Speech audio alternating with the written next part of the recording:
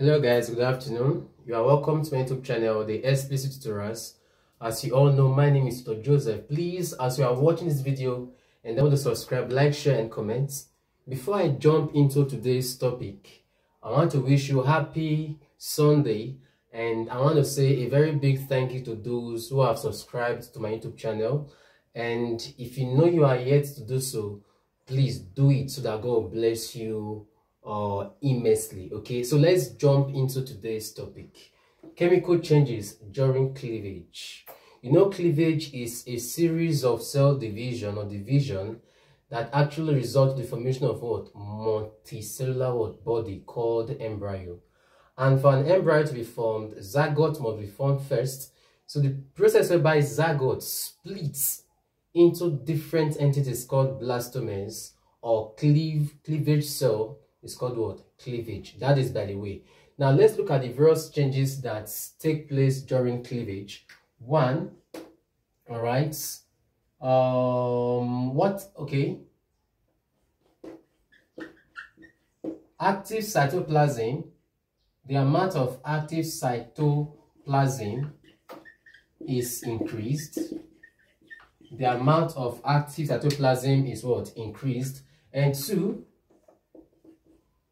or yolk or food reserves all right are transformed are transformed into into active cytoplasm. My emphasis is on this yolk. Excuse me you know that yolk can actually store food all right? Storage of food and secondly it is also responsible for the um, provision of nutrients for the developing what embryo. That is it provides nutrients for developing embryo. It can also what store food molecules. That is one. You know that yolk is not a chemical substance? No. It is just a mixture of different protein substances. And these substances are actually called phos Vitin. All right, we have we now have um, lipovitellin. No, that is double L. You have phospholipids and what neutral fat. So these are the constituents of yolk, and of course, know that yolk occurs in the second uh, second period of what? Cell division. And it's made up of phosvitin lipovitellin phospholipids and what? Neutral fats okay? Yolk is said to be protein yolk when it contains more proteins all right yolk is said to be proteinous or Yes, it's, a yolk is said to be proteinous when it contains more protein and it tends to be fatty. It tends to be what? Fatty when it contains more uh, phospholipids and what? Fat. Yolk is said to be fatty when it contains phospholipids and what? Fat. And it's said to be protein yolk when it contains what? More protein. Which means the type of yolk that is proteinous is said to be what? Yolk protein or protein what? Yolk. That is for that. So this yolk is transformed into what? Active cytoplasm okay? Then number three the rate of respiration increases or you say that's number three respiration respiration increases steadily or constantly all right. Respiration increases steadily or what? Constantly. Then number four there is increase in metabolic activities. There is increase in metabolic metabolic what? Activities. You know metabolism is okay activities. There's increase in metabolic activities. You know metabolism means some total chemical reaction that takes place on the inside of a living cell All right, this increase in metabolic activities, all right, could be anabolic, could be anabolic. Oh God Almighty, what kind of marker is this? This increased metabolic activities could be anabolic, and anabolic activity is what building up activity, or I'll say sentences. All right, metabolic activity could also be what catabolic. That is what break it down.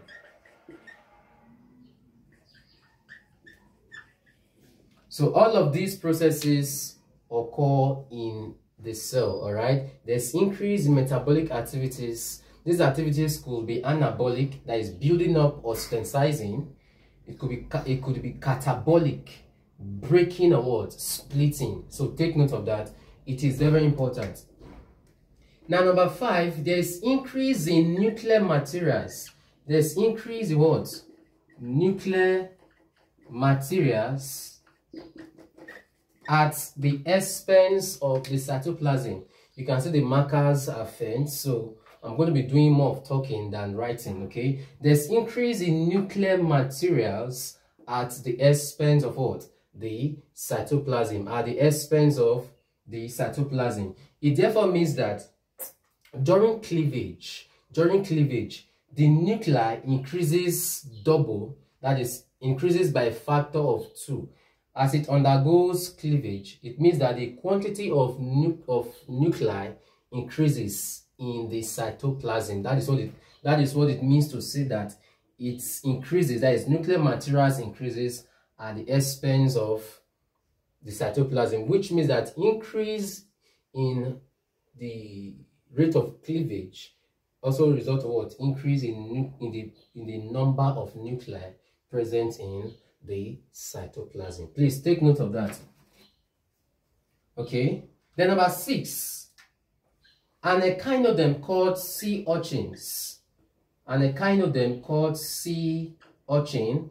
Please, the, the egg cytoplasm of a sea urchin has lots of RNA, ribonucleic acid. Please, see, or there is the egg of this egg cytoplasm of a sea urchin has large quantity or la has large amount of what? RNA, that is ribonucleic acid. However, as the process continues, all right, this this large quantity of what RNA disappears. What did I say? I said that the egg of the egg cytoplasm of a sea urchin has large amounts of RNA However, as, as the process continues, what happens? It disappears. It disappears during a period of what? Development. During a period of development. Notes. It is worthy of notes.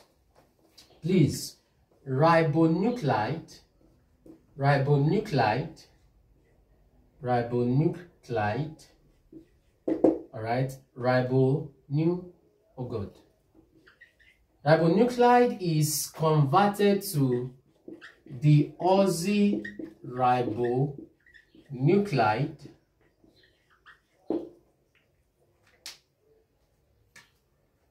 I'm on this marker, you're, it's just reducing me seriously. Please, ribonuclide is converted to the ribo. Okay, it should be ribonuclide. Yeah? is converted to this by ribonucleotide. Oh, oh, good, good. Nice one, nice one. Please, ribonucleotide. Ribonucleotide. Sorry, ribonucleotide is converted to the deoxyribonucleotide. Good, good. All right. Ribonucleotide is converted to ribonucleotide but by ribonucleotide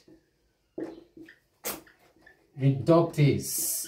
So the enzyme that converts ribonucleotide to the deoxyribonucleotide is called what? Ribonucleotide reductase. Take note of that. Mm? I was taking it for ribonucleic acid. Mm? So please, in sea urchin, all right, the egg cytoplasm has large amounts of RNA, but as the process continues, it disappears during the process of what? Development. And secondly, I said ribonucleotide is converted to deoxyribonucleotide by an enzyme called what? Ribonucleotide reductase. All right, take note of that. Uh, on another note, all right, uh, DNA, all right, DNA is also present in the egg cytoplasm of some animals. All right, DNA is also present in the egg cytoplasm of some animals, such as amphibians and insects. I filled this markers just now. I don't know why they're messing up now. Alright, I said DNA is, pre is present in the egg cytoplasm of some animals, such as amphibians or what? Insect.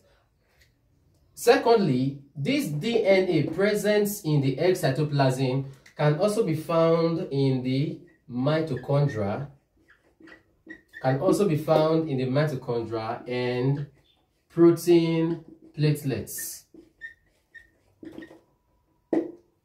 Platelet, right? I said DNA is found in the egg cytoplasm of some animals. Examples are amphibians and what? Insects. And this cytoplasmic DNA are found in the mitochondria and what? Protein platelets. So these are the changes that actually take place. These are the chemical changes that actually take place during what? Cleavage we are not done all right there's also dna synthesis from low molecular material from low molecular what materials oh god why are these markers messing up all right there's also dna synthesis from low molecular materials in the cells called amino acid glycine. So which means that in, okay, during the synthesis of DNA, all right, which means that DNA is synthesized from low molecular materials present in the cell. And these low molecular materials are amino acid eh, glycine. So these are monomers and this one is what? polymer. Take note of that. That is good. Notes, notes. During the cleavage of the egg of sea urchin, why are they always using this echinoderm? I don't know what's special about this sea urchin. Now, during the cleavage of sea urchin, its eggs were, were taken into water containing carbon 14 all right during the cleavage of the eggs of sea urchins the egg of sea urchins were placed into water containing what? Carbon 14 and this carbon 14 was was labeled glycine. Was labeled glycine. Then after you know that carbon 14 is a radioactive element. So after that, what now happens? The carbon 14, which is the radioactive element, passed through uh, ribonucleotide or ribonucleic acid to the oxyribonucleic acid. Alright, so which means that once the eggs, as soon as the eggs of sea urchins were inserted or were put into water containing carbon 14 and this carbon 14 was labeled what glycine and you know that carbon 14 is a radioactive element what what now happened it was discovered that this carbon 14 passed through RNA into what DNA so these are the changes that actually occur during cleavage. Another one, I just remembered another one. Now, uh, sea urchins, okay, during fertilization in sea urchins, all right, there's large, um, there's large synthesis of what? Protein, which means the synthesis of protein is what? Increased. In sea urchins, during fertilization, all right, the synthesis of protein is what? Increased. And this increase in protein uh, quantity continues throughout the period of cleavage, which means it does not what continue. Now, but in mammals, in mammals, these proteins are not marked. It therefore means that there will only be increase in protein synthesis when rate of respiration is increased.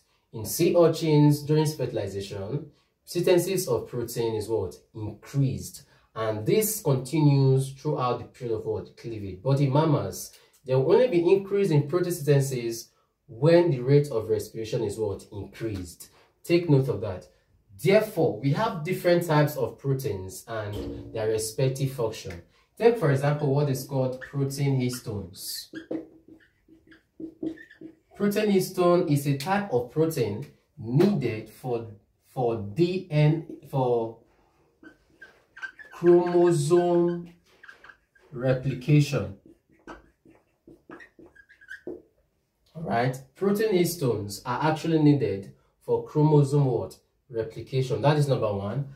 Number two type of protein is called tubulin. Tubulin. And this type of protein is actually found in the protein constituents.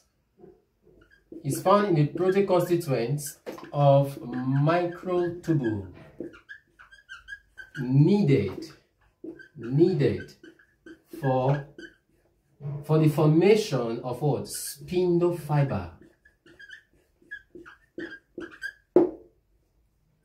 so tubulin is a type of protein found that is that make up microtubule and these tubulins are needed this, okay, you have tubulin being the constituent of microtubule, and this microtubule is needed for the formation of what? Spindle fiber. The function of spindle fiber is to enhance what? Cell division, alright? Cell division. Okay, the third type of protein is the ribonucleic acid reductase Right. This is also a this is also another type of protein. And the fourth type of protein is DNA polymerase. Alright, DNA polymerase. And this type of protein is also needed for DNA for chromosome? Replication. For chromosome replication. It therefore means that protein histone and DNA polymerase are needed for chromosome replication. But tubulin is the building block of microtubule, and this microtubule is needed for the formation of a spindle fiber for cell division. You have ribonucleic acid reductase, which is also a type of protein. You have DNA polymerase. What does it do? It is needed for chromosome replication. So these are the chemical changes that actually occur during cleavage. Now the next topic or the next subtopic is the characteristics of the period of development of cleavage. Characteristics of the period of development of cleavage. Number one is that the zygote, you know zygote is a unicellular diploid fertilized cell, right? You know that zygote is a unicellular diploid fertilized cell, all right? It undergoes mitotic, all right, mitotic division. It undergoes mitotic division to produce a multi cellular complex or body called what? Embryo. the characteristics of the period of development of cleavage. One, I said zygote, being a unicellular diploid fertilized cell undergoes mitotic division to produce multicellular complex called what? Embryo. At this stage, all right, the chromosome, the chromosome has the appearance, has the appearance and structure of somatic, otherwise called body chromosome. So at this point, all right, at this point where the zygote undergoes mitosis to produce embryo, the chromosome appears somatic, like body what chromosome, all right. Number two is that no growth. There is no growth. It then implies that a blastome, a blastome does not increase, all right, before the next period of division begins. However, it only becomes half its original what? size. All right, a blastome does not increase. All right, however, it only becomes half its original what? size so there is no growth all right then number three number three uh see listen oh, the shape the shape and structure of the embryo does not change. The shape and structure of the embryo does not change. Uh, but the formation the formation of all right the formation of the cavity interiorly to the embryo called blastocoel changes the shape and structure of the embryo does not change. It remains the same, okay? However, the formation of a cavity, let me use the word now. The formation of a cavity inside the embryo only changes. And this cavity is called what? Blastocoel. And this cavity is a, is a fluid filled cavity right this cavity is actually filled with what fluid take note of that okay now during uh this period or during the period of cleavage during the period of cleavage the cytoplasmic materials are not in, that is they are not decreased in the sense that they remain the same throughout the period of what? Cleavage. All right? Which means before the beginning or before cleavage commences or before uh, what is called? The, before the period or process of cleavage commences or starts the constituents of the cytoplasm does not change. In other words the various parts of the cytoplasm does not change before cleavage begins. And secondly the quantity of nucleus right, the ratio of nucleus to cytoplasm, which is low at the beginning, which is low at the beginning, all right, the ratio of nucleus to cytoplasm, which is low at the beginning, is also same at the end at the end. So which means that the quantity of nucleus to cytoplasm remains the same. That is at first it was low then at the end of the cleavage process it is also low all right so which means the quantity of nucleus to cytoplasm which is low at the beginning is also same at the end of what excuse me, at the end of what? Cleavage. It is given as volume of volume of nucleus over volume of cytoplasm is equals what? Is 1 over 550. It therefore means that volume of cytoplasm is 550 while volume of nucleus is what? 1. So this is a ratio of the volume of nucleus to that of what? Cytoplasm. Take note of that. Please take note that the period of cleavage in different animals varies. The period of cleavage in different animals varies. So in, in goldfish, right, period of cleavage may last for 20 minutes. Right, in frog, it may last almost almost for an hour. All right.